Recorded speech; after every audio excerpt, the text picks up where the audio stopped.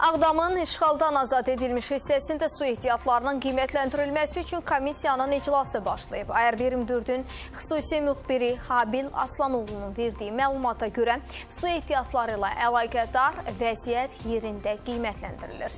Qeyd edək ki, Ağdamda keçirilən iclasa Baş nazirin müavini Şahin Mustafayev sədrliyi edir.